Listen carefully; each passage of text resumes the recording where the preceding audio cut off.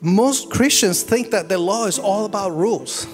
It's all about these rules. And the reality is that the law it was not about rules. It was all about healthy relationships. God was trying to tell his people, he said, like, listen, you guys really messed up. So now we have sin in the world. Now I'm, I'm a holy God and I cannot be with you because I'm holy. But I'm going to give you some things so my presence can be with you. It was always the desire of God to dwell with his people. And he said, ultimately, I'm going to redeem all of those things. And we know that he did it through Jesus, right? But in the meantime, I still long to be with you. And I'm going to train you and I'm going to show you a way that's going to point back to my son, to the Messiah.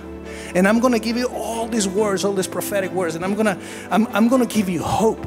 I am not leaving you alone.